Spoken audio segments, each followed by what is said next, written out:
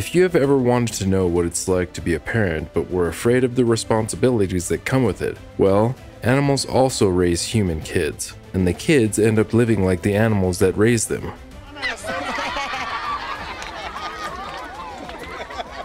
More and more, parents are getting on board with raising their kids in a more naturalistic way. This can lead to problems and conflicts, as well as positive outcomes.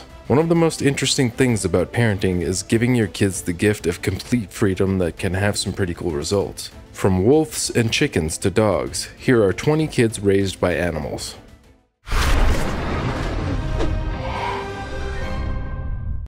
Number 20. Marina Chapman. Marina Chapman claims that her mobility has decreased. Nowadays, climbing trees is difficult, let alone swinging from them. She might be older. She's probably 60 or 62 years old. She is unsure. Chapman is little, flexible, and sinewy. She sometimes has a slightly simian, slightly feline, and rather lovely appearance that isn't quite human. The fact that Maria Chapman seems unique from the rest of us may not surprise me. She claims that she had monkeys as pets during her formative years, just primates. She claims to have lived alone in the Colombian forest for five years. She is unclear because there is no accurate way to calculate this. She recalls learning how to survive on her own by eating berries and roots, snatching bananas left by the monkeys, spending the night in tree holes, and moving about on all fours. She claims that by the time hunters came to her aid, she had entirely forgotten her language. Then life started to get complicated. She recalls how she suffered from acute food illness from tamarind and believes she would pass away in one of the most memorable passages in her book. She was in excruciating pain when an elderly monkey she now refers to as Grandpa guided her to murky water. She drank the water, passed out, and started to feel better. Before we begin, like this video, smash the subscribe button, and click the notification bell right now, or this centipede will crawl on your face when you're sleeping. Number 19. Oksana Malaya. The life of Oksana Malaya serves as a fairly convincing example of how upbringing rather than nature predominates. Her parents abandoned her when she was only three years old, leaving her outside that night. She instinctively crawled to the first structure that may offer her warmth and protection the dog kennel. Her disappearance went mostly unnoticed by her parents. She resided in the dog kennel and subsisted on her leftover scraps. Although she may have periodically wandered into her old family home like a stray and must have seen humans at a distance, she was no longer of their species. All meaningful existence was restricted in the kennel. It took a while for Oksana to start acting less and less like a human and more like one of the pack. A neighbor called the police five years later to report that dogs were rearing a young girl. When saved, she could not speak and moved like a dog while crawling on all fours. Home for the mentally challenged is where Oksana Malaya resides. Surprisingly, she doesn't spend much time with her pet dog. She takes care of the farm animals. She was taught how to walk straight, eat with her hands, and most importantly, communicate like a normal human being at an orphanage school. She hides things like a dog with a bone when offered something. Number 18. Rochom Pinieng. When Rochom vanished from her hamlet in northwest Cambodia in 1989, she was 8 years old. Her family recalls her as a pleasant, intelligent young lady who was talented at cutting banana peels into the forms of people, animals, and flowers. She left, as usual, to take care of the buffaloes one October morning, but she never returned.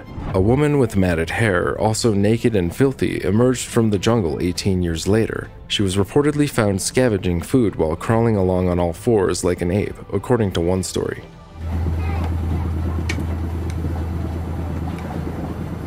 The half human, half animal woman from the bush has been the subject of many fantastical tales. She was allegedly followed by a wild, nude man brandishing a sword, cared for by a nomadic hills tribes while away from home, and protected by the spirit of the jungle. She only expresses herself clearly when she scratches her stomach to show hunger. She can use a spoon, but she can't wash her hands, brush her teeth, or use chopsticks alone. She receives affection from the family, but she doesn't return it. She is limp when being hugged. She covers her mouth when she is offered food when she is not hungry.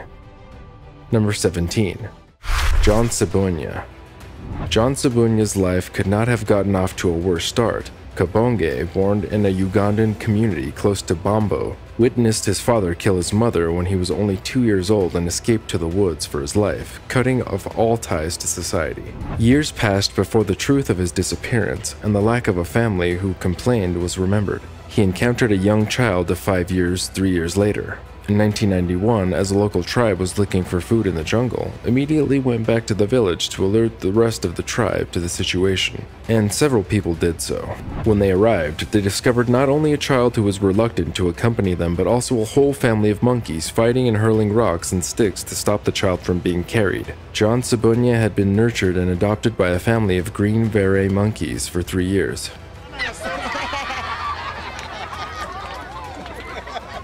They not only allowed him to join their group, but also taught him all of their traditions and the skills necessary for jungle survival. They finally succeeded in transporting John to a nearby Christian orphanage. John had hypertrichosis at the time, a typical condition in wild toddlers. His body was covered in scars and sores. He couldn't eat cooked food, and his brand like knees indicated he hadn't yet learned to walk. John has adapted to human behaviors over eight years, learning to walk and further losing his hypertrichosis. Number 16. Victor of Aveyron. An alleged feral child was discovered at 12 living in the woods close to Aveyron in southern France around 1800. Jean-Marc Gaspard Itard, a French surgeon, evaluated the child. It was recently proposed that the youngster, Victor, was autism based on his poor attention span, ability to speak speech sounds but not words, rocking when seated, trotting when upright, and other characteristics. Victor learned social awareness, verbal comprehension, and literacy skills through an intense educational program Itard designed that included sensory stimulation and repetitious physical activities. Itard's effort is regarded as a crucial early development in the special education of children with intellectual and developmental disabilities. Even though the results of this endeavor were disappointing, after five years, Victor could speak, read, and write only a few words and phrases and was moderately socialized. Edward Seguin's work helped spread Itard's impact further, and Maria Montessori's approach to the education of all children was partially based on the techniques both men had developed, beginning with works published by Itard in 1801 and 1807 and continuing through current literature by both scholarly and popular writers. Victor became the topic of countless books and articles. His life and education with Itard have also been dramatized on film and television. Number 15. Dina Sanichar. If you enjoy the Jungle Book, you should read about Dina Sanichar, the real life Mowgli. Sanichar has lived his entire life among animals after being born in an Indian forest. Rudyard Kipling inspired Dina with the uplifting novel, although few people know how tragic Dina's life was. In this article, we'll examine Dina Sanichar's life in more detail and discover more about his remarkable tale. When Dina Sanichar was a little child in the 1800s, his life's journey began. In 1867, a pack of hunters was searching for a wolf in the woods of Uttar Pradesh, India. A naked child was hiding in the corner of a small cave that the wolf led the hunters to. They attempted to speak with the youngster but found that he could not do so and did not appear to comprehend their inquiries. Each second made it clear that the wolf boy was a feral child. Wolves had reared the boy, and despite the peculiar circumstances of his upbringing, he was not the first feral child. Dina's discoverers took him back to their hamlet, where they displayed him for the neighborhood residents. The boy raised by wolves captivated and frightened the villagers at the same time. Number 14. Genie Wiley.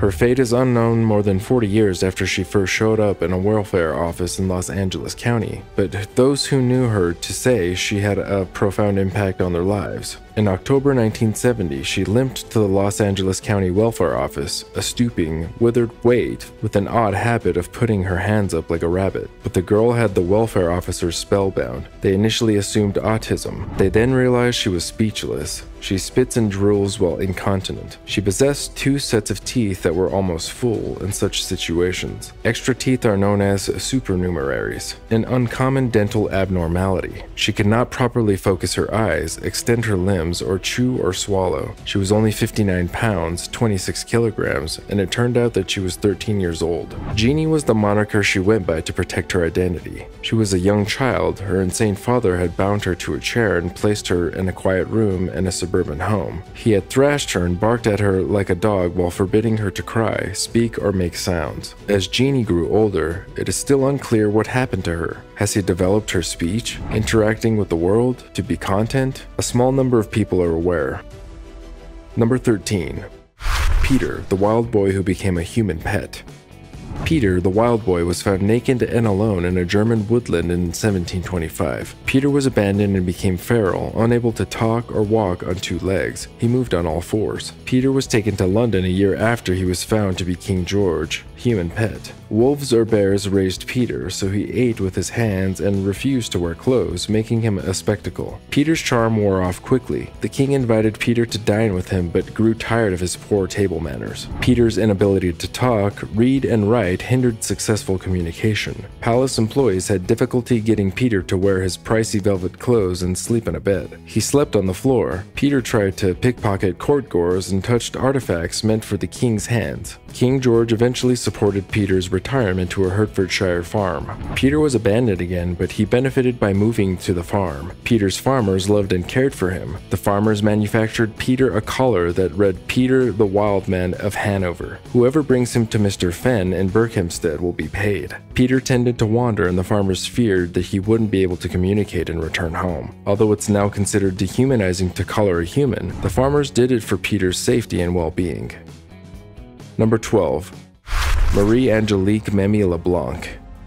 Marie Angelique Memmi LeBlanc was known as the Wild Girl of Champagne, the Maid of Chalons, or the Wild Child of Songy. She lived in France in the 18th century. Some modern scholars have said that her story is either completely or partly made up. This makes her case more controversial than the stories of other feral children. But in 2004, the French author Serge Aroles said it was real because he had spent 10 years researching French and American history in archives. Aroles thinks that Marie Angelique lived in the forests of France for 10 years, from the ages of 9 to 19 before being found by villagers in Songy, Champagne, in September 1731. He says that she was a Meskwaki Native American and was born in 1712 in what is now the state of Wisconsin in the Midwest of the United States. He also said she died in Paris in 1775 when she was 63. Aroles found in old records that showed she learned to read and write as an adult. This made her different from other feral children.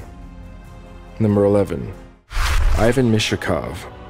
When the Soviet Union broke up in 1991, Russia was left with a nearly bankrupt economy and a big drop in living standards. The country had just become independent. Ivan Mishukov was born in the middle of these hard times. At night, all of the dogs would sleep with Ivan. Their body heat kept the little boy from getting too cold and protected him from the snow that often covered the city. But this wasn't all they had to do. Ivan was also protected by his dogs, who would attack anyone who tried to hurt him or steal the few things he and his pack had. This is how Ivan would live on the streets for the next two years. During the day, he would beg for food to give his pack. In return, they made him the pack leader and kept him safe. This amazing story about Moscow's wild child and his stray dogs quickly got to the city police, who tried three times to save Ivan. Ivan's pack came to his aid each time and helped him get away by fighting fiercely for him. Even though he had fleas and lice, Ivan was in surprisingly good health when he came in. This shows how well his dog's family took care of him. Ivan's speech didn't change much after two years with the pack, so it was easy for him to get back into society. Ivan is now a well-adjusted member of society. He has talked about his time with his pack on Russian and Ukrainian TV. Number 10. Amala and Kamala. A child that has lived alone since they were very young and has little to no experience with human care, love, or social behavior, and most importantly, human language, is said to be feral. Humans, typically parents, contain or raise feral offspring or are left alone in the wild. The two human like monsters were captured after extensive preparation and challenges. They turned out to be two girls, Singh estimating their dogs to be around 8 and 1.5 years. The Reverend and his wife were stationed in Mindpur, India, where the creatures were sent to an orphanage. They had a wolfish appearance, according to Singh. They moved on all fours and developed calluses on their hands and knees. They liked eating raw flesh and would steal it when the chance presented itself. They ate their food while squatting down and licked their lips to consume all liquids. They panted like wolves, their tongues hanging out of their thick, crimson lips. They howled and prowled at night, seldom falling asleep after midnight. They could run as quickly as squirrels, and it was challenging to catch up to them. They completely avoided human society. After five years in the orphanage, Kamala started to show signs of intelligence. She comprehended the notion of color, recognized her glass among the others, knew some of the infants' names, and consumed food exclusively from her plate. Number 9. The Syrian Gazelle Boy. The Syrian gazelle boy Jean Claude Auger, a Basque anthropologist, was crossing the Spanish Sahara, Rio de Oro, by himself in 1960 when he encountered some Nemadi nomads who informed him of a wild boy who lived a day's journey away. He followed the nomad's instructions the following day. He noticed a young child running nude on the horizon among a, long cavalcade of white gazelles and huge bonds. The youngster periodically adopted an upright stance while walking on all fours, which suggested to Auger that he was abandoned or lost when he was around seven or eight months old and had already mastered standing. This astounding account of the feral boy, Gazelle Boy, reveals that he was only seven years old when he was abandoned by human society, which caused him to lose many of his early lessons and develop basic human skills. He was occasionally able to stand on two legs, though. The Gazelle Boy often walked on all fours, still, he would occasionally adopt an upright stance, which gave Auger the impression that before he was abandoned or lost, he had already mastered standing. Like the rest of the herd, he was prone to twitching his muscles, scalp, nose, and ears in response to the even smallest noise. Number 8. Natasha Mikhailova. Lozkin and the girl's 25 year old mother, Yana Mikhailova, who hadn't seen her in two years, were detained on suspicion of neglect. One neighbor complained they never let her out. We didn't know she existed. We never saw this youngster, but they had three incredibly ferocious and aggressive ones that took for walks. The girl, around the size of a toddler, was not listed with any doctors or hospitals. Despite their disbelief, experts claimed that she is not mentally inspired despite the way she jumps on people and engages in dog games. Nina Yemelchukova, the center's director, reported that as she left the room, she leaped at the door and started barking, not just meowing or something. She can't control herself at the table. She throws away the spoon and eats straight off the plate despite having a healthy appetite and eating properly. Natasha avoids being around other kids and becomes tense when she hears strange noises. Natasha had lived in this apartment building where she seemed to be treated like a family dog. The dogs tried to protect her even if her father wasn't there. The child was living with an abject filth, and the apartment smelled terrible. There were numerous dogs and cats, and the child shared her home with them. Number 7. Marcos Rodriguez Pantoja. Marcos Rodriguez Pantoja has gone through numerous trials that regular people go through. He has worked in exploitative positions and is currently struggling financially as he enters retirement. When he was three years old, his father sold him to a goat herder after his mother died after childbirth. Pantoja spent 12 years coexisting with wolves in the Sierra Leone mountains of Andaluca, sleeping in caves and foraging for berries and mushrooms to eat. At 19, Pantoja, a resident of Galicia in northern Spain, was forced to leave his wolf pack. He was discovered and coerced into joining the military by the Civil Guard. Pantoja couldn't speak Spanish when the guard first encountered him, so he only made groans and jumbled noises to communicate. Pantoja has even attempted to return to his former Andalusian community since he enjoys his previous life in the outdoors. He claims that the wolves no longer welcome him because the area is now overrun with homes. He claimed there are wolves, and if I call out to them, they will respond. But they will not approach me. I wear fragrance, so I smell like people. He has worked exploitative jobs in the construction and hospitality industries since he entered modern civilization. He retired and now struggles to make ends meet on his pension, which doesn't cover necessities like house insulation. Number 6. Wolf Girl of Devil's River. It all started normally enough in the Georgian countryside. Marlowe reluctantly consented to his romantic partner's wishes but worried about the breakup of their successful alliance. A woman saw the same thing within the year a naked girl crawling on all fours with two wolves. Residents began combing the difficult area because they weren't so quick to discount an adult eyewitness. Two hunters in a canyon captured the wolf girl. She initially cowered like a rabbit, according to a story in the 1937 folklore collection Straight Texas. She growled and spat like a wildcat after that. She also struggled, biting and scratching. Her hands and feet were bound when a snarling wolf unexpectedly rescued her. A fortunate shot stopped the rescuer in its tracks, causing the prisoner to lose his consciousness. In a cramped room of a run-down ranch house, she came into the presence of numerous interested men. The girl recoiled in a corner, refusing their offers of food, water, and a blanket until they left the room and shut the door behind them. A lone wolf initially responded to her call in the distance. Number 5. Sujit Kumar have you ever seen the boy who eats like a chicken? Sujit Kumar was tied down and treated like an animal, which made his life miserable. Before an Australian woman changed his life, people called him Chicken Boy. Even though Sujit Kumar is 32, the people who care for him call him Chicken Boy. The Fijian has never learned to talk and is just starting to act like a human. People say he spent his childhood locked up in a chicken coop. Psychologists and a group of American behavioral scientists have been looking into Kumar's strange past, which, if true, would be one of the most tragic cases of child abuse in Fiji. Elizabeth Clayton, whose husband, the New Zealand mountain climber Roger Buick, died on Everest in 1998, is one of the people caring for Kumar. She says that when she first met Kumar, he pecked at his food and crouched down like he was roasting. His fingers are bent inward from scratching in the dirt, he talks by clicking his tongue quickly and doesn't seem to care much about what's happening around him. Number 4. Shamdeo. The Times of India said that the wolf boy's name was Ramu. He was discovered on all fours in the presence of wolf cubs in 1976 when he was a little youngster. He had matted hair and nails that resembled claws, indicating that he had been raised with them. He learned to bathe and dress while under their care, but he could not communicate. He would break into the poultry coops covertly at night.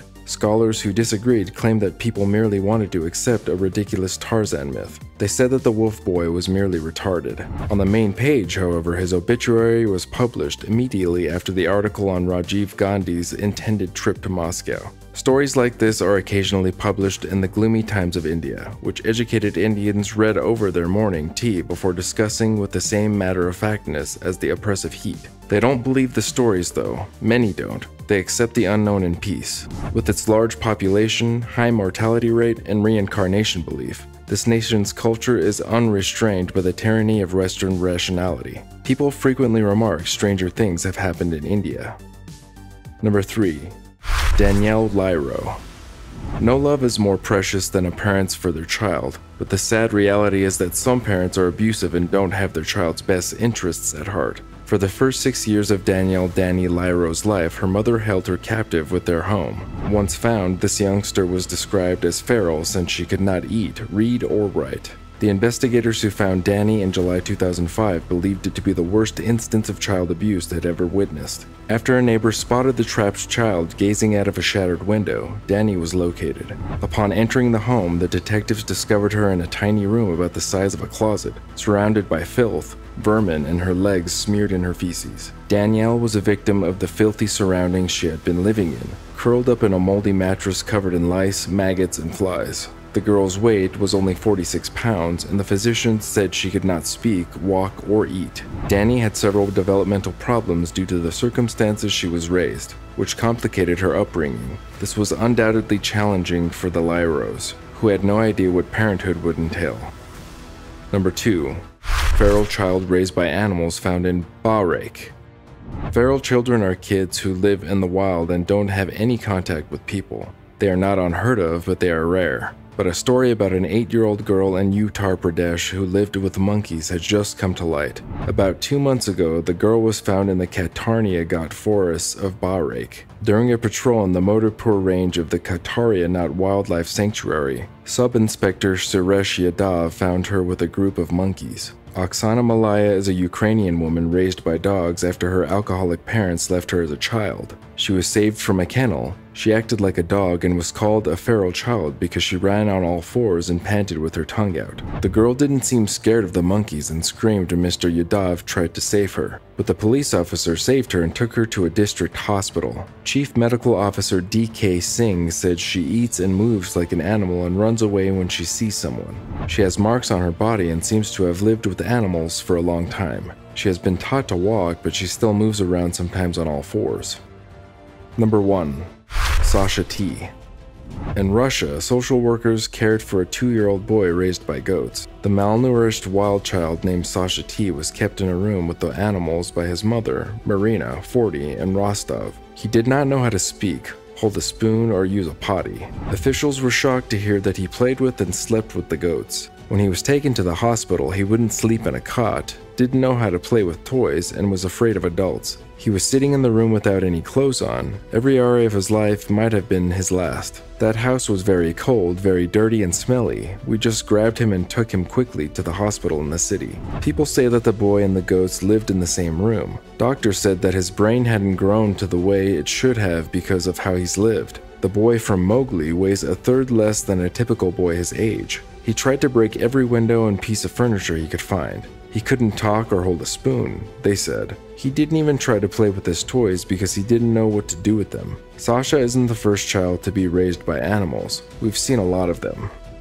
Do you ever imagine animals raising some kids? What are you thought now that you know? Share your view in the comment section below.